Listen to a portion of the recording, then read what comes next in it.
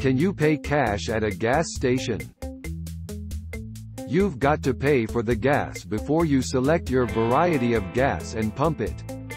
You can pay with a credit or debit card directly at the pump, or with your card or cash at the counter inside.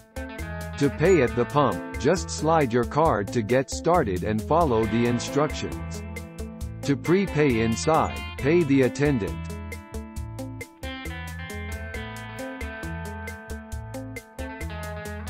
Thanks for watching. Please subscribe.